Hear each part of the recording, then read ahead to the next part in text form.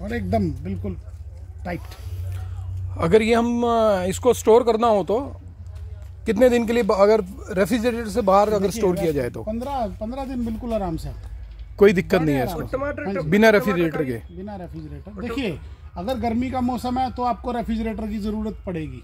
ठीक है। क्योंकि अगर अगर सर्दियाँ हैं अगर सर्दियाँ मान लीजिएगा अक्टूबर से लेके और अब फरवरी तक आप इसको 20 दिन भी अगर बाहर रखेंगे तो कुछ नहीं जाएगा।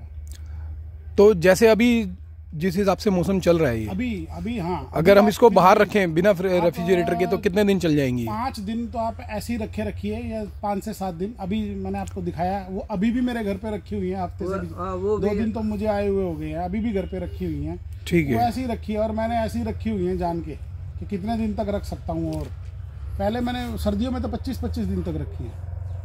लेकिन अभी गर्मी आ गई है, मौसम थोड़ा सा गर्म हो गया है। देखते हैं कितने दिन और, कम से कम 10 से 15 दिन आराम से बिल्कुल दस दिन तो आप बिल्कुल मानकर चलिए, लेकिन 10 दिन कोई भी वेजिटेबल अपने घर पे नहीं रखता।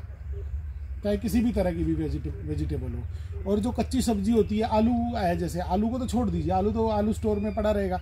लेकिन कैप्सिकम है, उसको कोई कैप्सिकम है टोमेटो है, उसको कोई महीनों तक नहीं रखता है। किसी भी कोल्ड स्टोर में या कहीं भी लगा लीजिए, वो महीनों तक नहीं रखे जाने वाली सब्ज़ियाँ होती हैं। लेकिन फिर भी आप इसको बड़े आसानी से रख सकते हैं